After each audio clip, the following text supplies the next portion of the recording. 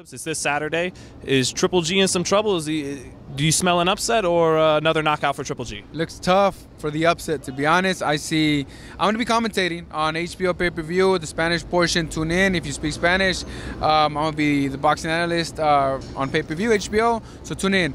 Um, the way I see it, Triple G wins uh, by knockout, just because I mean he has he Yeah, has, give us your HBO breakdown. Right. Man, I mean the power that the Triple G has right now is it's it's, it's unheard of in his division. Yes. And he's really knocking guys out, even though he has fought some young, some lighter opponents, you know. But he still has that uh, jaw-breaking power. You know what I'm saying? So that's gonna be, play a factor in this fight.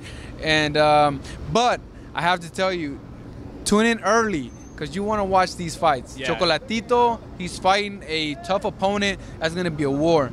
Carlos Cuadras is fighting a tough guy in front of him as well. I think that those fights might steal the show. Right. You know, the, these guys are very entertaining fighters, and that's what they come for entertainment. So tune in early, and like I said, we'll be the boxing analyst. We'll also be the boxing analyst for the commentator for on HBO pay per view for May 6th. It's going to be Julio Cesar Chavez Jr. against Canelo.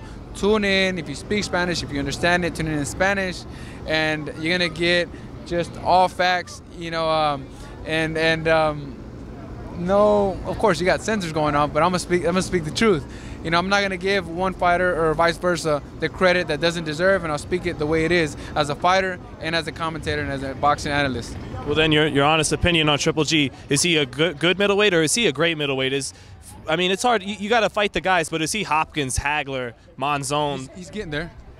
He, he's getting there. He's still uh, young and and um, he's. I think he still has a, a long future ahead of him.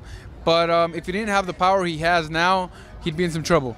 But uh, since he does have the power that, that he possesses now, you know he's able to get away with a lot of things. But I think yeah, he- he's he's getting there.